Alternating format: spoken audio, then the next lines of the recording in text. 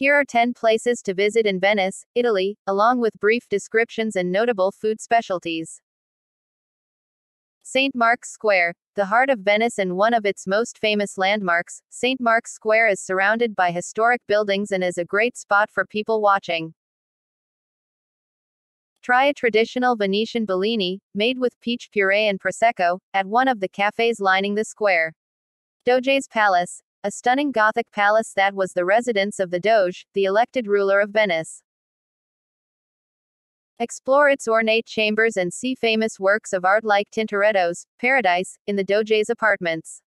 Rialto Bridge, the oldest and most famous bridge over the Grand Canal, the Rialto Bridge offers great views of Venice's waterways. Grab a bite to eat at one of the food stalls on the bridge, which sell everything from fresh seafood to gelato. Gallery dell'Accademia, one of Italy's premier art museums, the Gallery dell'Accademia has an extensive collection of Venetian art from the Middle Ages to the 18th century.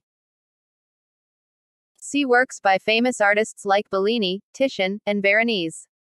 Murano, a group of islands known for their glassmaking, Murano is a short boat ride from Venice. Watch glassblowers at work and pick up some beautiful souvenirs at one of the island's many shops. Burano, a picturesque island known for its colorful houses and lace making tradition, Burano is a great place to wander and take photos.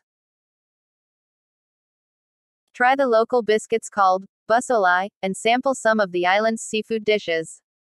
Peggy Guggenheim Collection, a modern art museum housed in Peggy Guggenheim's former home, the Peggy Guggenheim Collection has works by artists like Jackson Pollock, Salvador Dali, and Pablo Picasso. The museum also has a beautiful garden overlooking the Grand Canal. San Giorgio Maggiore, a small island across from St.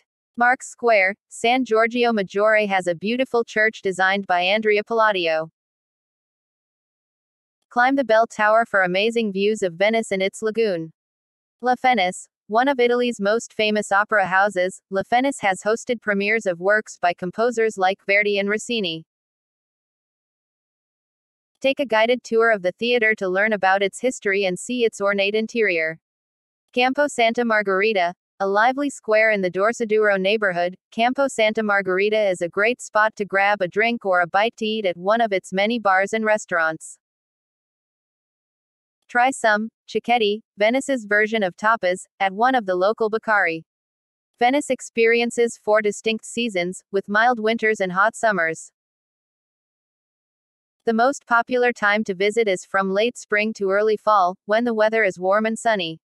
Italian is the official language in Venice, but many locals also speak English and other European languages.